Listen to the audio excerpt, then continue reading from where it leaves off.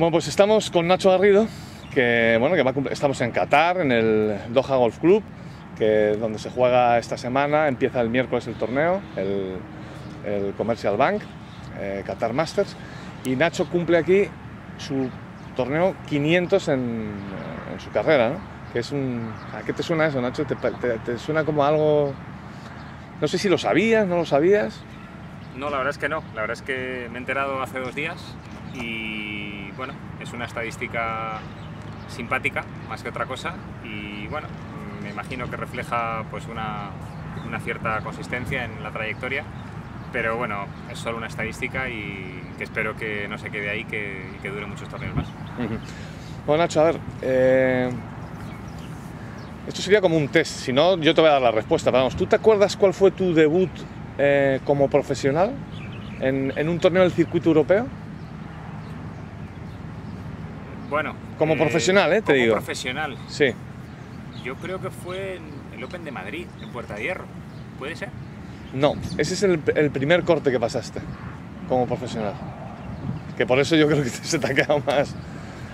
Ah, no, no, ¿sabes lo que ocurre? Yo creo que fue ese fue el primer torneo que jugué cuando ¿Sí? ya tenía la tarjeta. Es decir, cuando me parece que Ah. acababa de terminar ese año el Challenge Tour, Sí, había clasificado y el Open de Madrid se jugaba el último torneo del año. Del Efectivamente, porque fue en octubre, claro, ese fue el primer torneo que jugué como ya como jugador del circuito europeo. Es verdad que me invitaron antes a algunos otros torneos, Sí. pero no me acuerdo, no me acuerdo muy bien dónde. Pues mira, ese año, en, en nada más hacerte profesional, juegas el Tour España Iberia Open de Canarias en el Golf del Sur. No te voy a decir las dos tarjetas que hiciste o, o que quieres que te. Recuérdamelo, pero no me acuerdo de nada. Hiciste 80 y 83. Ahora, si te sirve de consuelo, ¿En solo nueve jugadores bajaron del paro, o sea que te voy a hacer muchísimo viento o algo así. No te acuerdas de nada, ¿no? Uy, no me acuerdo de nada. Es impresionante. ¿eh? De- Es raro porque suelo tener bastante buena memoria para mis torneos, mis tarjetas, pero es curioso que no me acuerde de aquella. Y debe, de- ser, debe ser que mi mente es selectiva y esos 80 no, no le gustan demasiado. Exacto. Y de ese, ese que has citado tú, ese Madrid Open en el, en el Club de Campo, creo que era. No, en Puerta, de Hierro. Exacto, en. Puerta de Hierro. Se jugó del 28 al 31 de octubre del 93.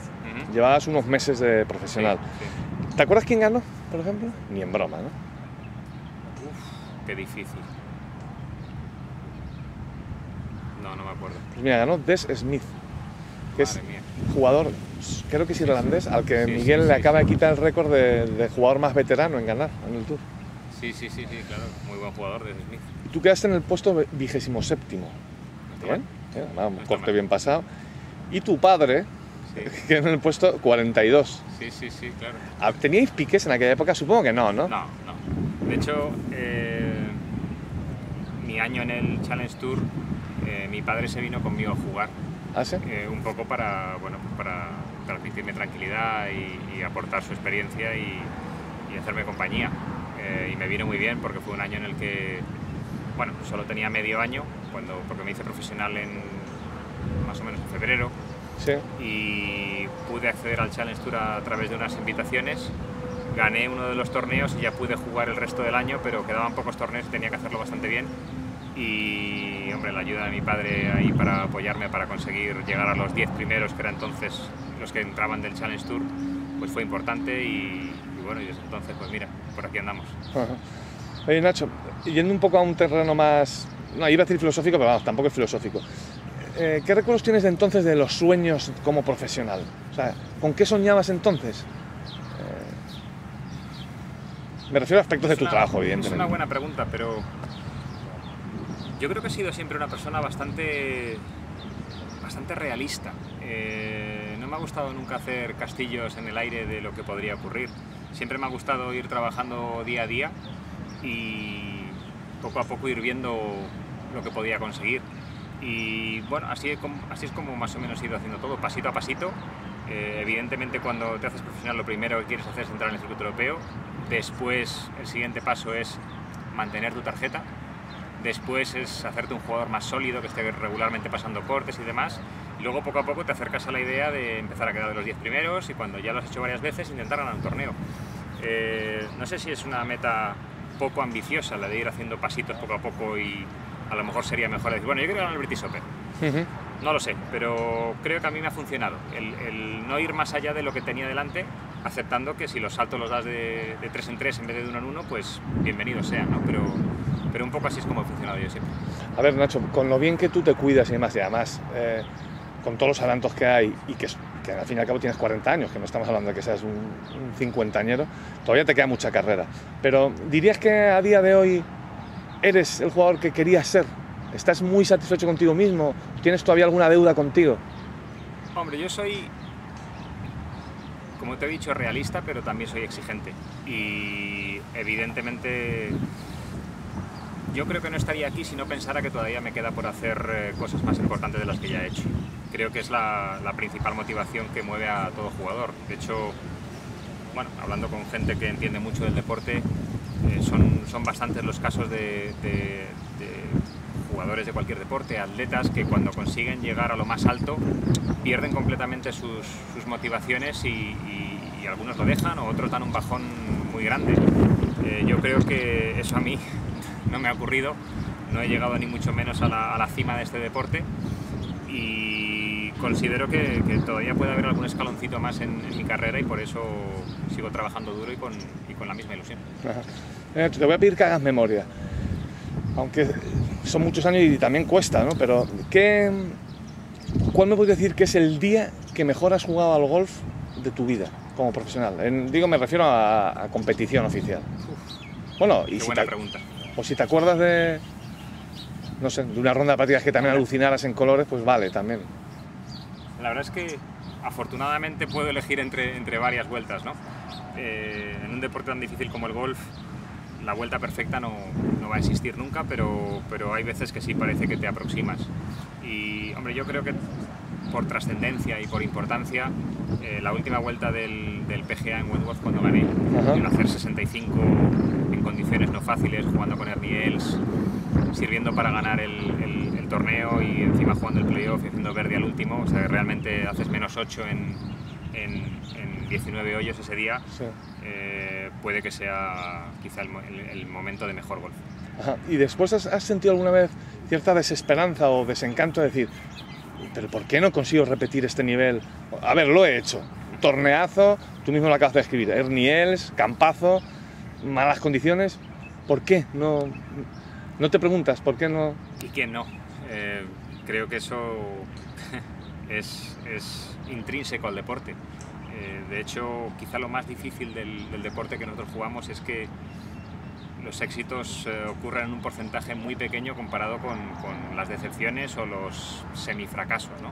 De hecho, eh, no sé, si, si, escogemos a los mejores jugadores de golf de la historia, eh, a los mejores de la historia del golf nacional, excepto Severiano, que es una excepción, pues no sé, si coges a un Olazábal, a un Jiménez y dices que han ganado 15 torneos en el circuito europeo, dices qué barbaridad, ¿no? Qué, qué bien está. Y si lo piensas, estamos hablando de que a lo mejor supone un, no sé, un 3% de los torneos que han jugado. Uh -huh. Es decir, el 97% de las veces, de una manera o de otra, pierdes.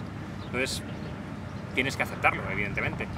Y a veces es más doloroso que otras, a veces el juego bueno, te deja sensaciones más frustrantes y, y, a veces pasas rachas en las que parece que no encuentras la, la salida. Pero bueno, yo creo que, que, lo importante es saber pelear esos momentos difíciles y, y, y cabalgar la, la ola cuando, cuando está un poquito a tu favor. Uh -huh. Y luego, para ir acabando, eh, en el otro lado de la moneda, ¿recuerdas tantos años, tantos viajes, tantos hoteles, algún momento de decir, por ahí perdido en el mundo, decir, mira, yo me vuelvo a mi casa, a Madrid, y que le den dos duros a todo el mundo y a todo?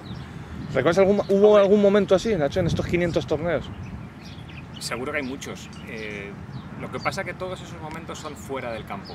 Yo creo que lo bonito de nuestro deporte es que estés donde estés, aunque estés en el último lugar del mundo perdido, cuando llegas a un campo de golf, un campo de golf es una, una maravilla, una delicia. El peor campo de golf del mundo es un, es un, jardín precioso, con lo cual creo que ahí es donde se te quita todo ese tipo de, de, de malos rollos, por decirlo de alguna manera. ¿no? Pero claro, cuando has viajado por todo el mundo, pues eh, evidentemente has conocido sitios que, que sería el último lugar donde te gustaría que te dejaran eh, a vivir, pero, pero bueno, afortunadamente solo pasamos una semana y aunque hemos visto cosas que no son nada agradables, lo que te he dicho, el campo de golf siempre es un lugar que, que de hecho en algunos sitios puede que sea el oasis de ese, de ese, de ese lugar. ¿no? Si vas a sitios como, no sé, sitios como Indonesia, Filipinas, en los que ves un montón de, de, de pobreza y de miseria por las calles, resulta que el, el campo de golf eh, parece el, el, bueno, El vergel, el ¿no? palacio, el, el- el vergel, exactamente. El lugar donde todas esas cosas se olvidan un poco y, y de hecho muchas de esas gentes que, que, que lo pasan muy mal, pues eh, acceden a ver el campo de golf y es como su, su recreo. Nosotros en el fondo somos los, los que entretenemos a, a gran parte de la población, con lo cual bueno, es una parte también bonita de nuestro trabajo. Vale, y ya sí, última pregunta. ¿Llevas 500 hasta... ¿Dónde lo dejamos? ¿Hasta los 1000? ¿o qué? No, 1000 no. A 1000 no vas a llegar, evidentemente. Pero 750, no sé. Hombre, si llevo 20 años como profesional y llevo 500, pues eh, no sé, estaré otros 20. Nah, no sé, la verdad es que igual, ya te he dicho que yo voy día a día eh, y, y de hecho no tenía ni idea que, que hacía 500 torneos esta semana. Eh, bueno, es una cifra bonita, pero tampoco supe cuando hice 400, ni 300, ni 200, con lo cual eh, lo que quiero es seguir trabajando igual, que, que siga la ilusión, que, que sigan saliendo los resultados y, y bueno, hasta donde llegue. Oye, Nacho, yo siempre he dicho o he escrito que eres un, un deportista bastante pragmático. Y de hecho en esta entrevista lo confirmas. Pero algún sueño tienes que tener por ahí, ¿no? De decir, bueno, venga, vamos a cumplir este sueño como golfista de... Hombre, creo que ya te lo he dicho, ¿no? Eh, como funciono paso a paso, pues lo que ya está hecho, conseguido está. Sí. Con lo cual el, el objetivo siempre va a ser el, el paso siguiente, ¿no? Que, que bueno, en mi caso sería, bueno, primero ganar otro torneo.